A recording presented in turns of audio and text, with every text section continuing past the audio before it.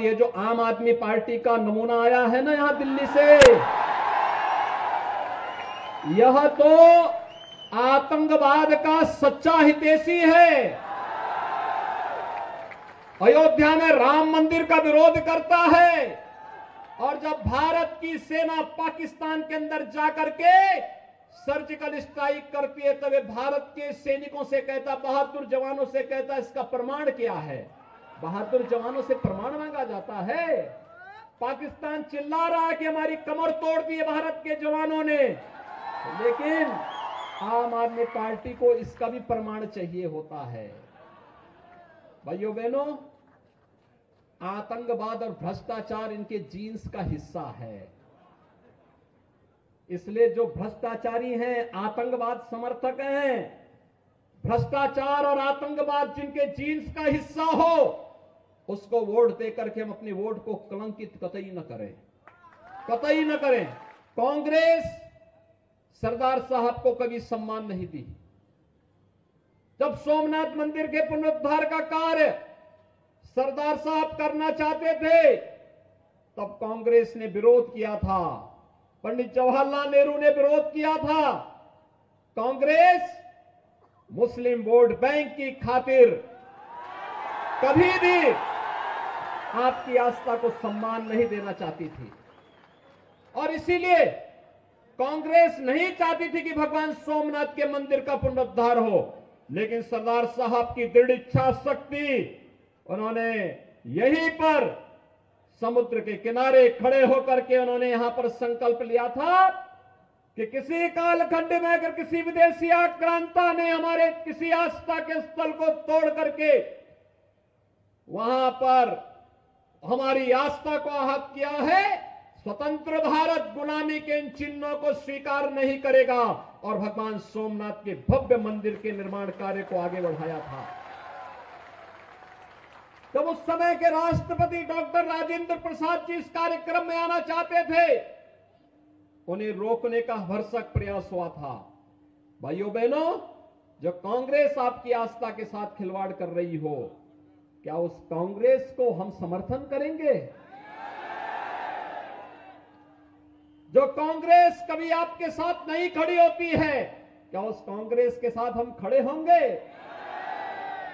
और कांग्रेस केवल यहीं पे शांत नहीं थी। कांग्रेस ने बाबा साहब भीमराव अंबेडकर का भी अपमान किया।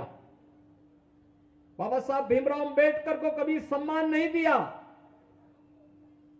उन्हें चुनाव हराने का भरसक प्रयास कांग्रेस करती थी। बाबा साहब भीमराव अंबेडकर से जुड़े हुए पाँच प्रमुख स्थलों को पंच तीर्थ के रूप में विकसित प्रधानमंत्री मोदी जी ने किया है। भगवान सोमनाथ का यह धाम आज जिस भव्यता को प्राप्त कर रहा है आप सबके सामने है। प्रधानमंत्री मोदी जी के मार्गदर्शन में, उनके नेतृत्व में भारत के विरासत का सम्मान हो रहा है। भारत के इस विरासत को एक नई ऊंचाइयाँ प्रदान करने का कार्य हो रहा है। और साथ साथ विरासत के सम्मान के साथ ही भारत के उन सभी हुतात्माओं को, अमर शहीदों को, जिन्होंने देश की आज़ादी के लिए अपना सर्वस्व नेच्छावर किया था उनके प्रति भी पूरे भारतवासी कृतज्ञता ज्ञापित कर रहे हैं। और इस अवसर पर भगवान सोमनाथ के इस मंदिर की उस कालखंड में रक्षा करते हुए शहीद हुए वीर हमीर जी गोहिल को मैं कोटि कोटि नमन करता हूँ। मैं इस अवसर पर लो पुरुष सरदार वल्लभ भाई पटेल को भी नमन करता हूँ। जिनके प्रयासों से आज भगवान सोमनाथ का भव्य मंदिर हम सबके सामने है, हम सबके गौरव का प्रतीक बना हुआ है। भाइयों बहनों, लो पुरुष सरदार वल्लभ भाई पटेल के सम्मान का मामला हो। दुनिया के अंदर उनका सबसे बड़ी प्रतिमा का निर्माण प्रधानमंत्री मोदी जी ने केवड़िया में करवा करके सरदार साहब को उनके सम्मान और उनके गौरव के अनुरूप सम्मान देने का काम किया है। बाबा साहब भीमराव अंबेडकर को, उनसे जुड़े हुए पाँच प्रमुख स्थलों को पंच तीर्थ के रूप में विकसित करने का काम प्रधानमंत्री मोदी जी के नेतृत्व में भारतीय जनता पार्टी ने किया। गारिया धारनी पावन धरती ना સંત બાલમરામ બાપા અને ગોહિલવાડના શૂરવીરોને નમન કરું છું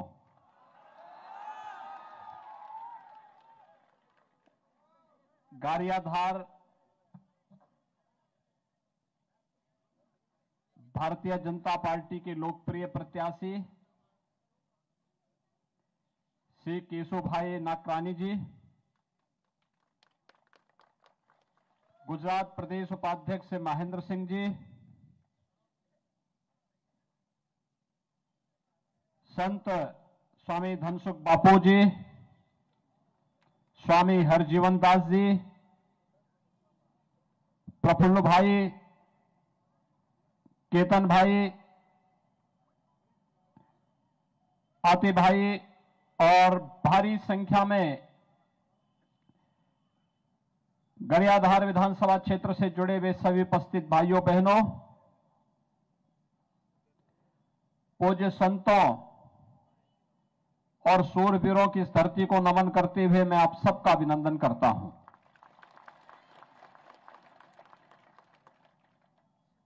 भाइयों, बहनों, गुजरात की धरती बड़ी महान धरती है। उत्तर प्रदेश में जन्मे भगवान कृष्ण कन्हैया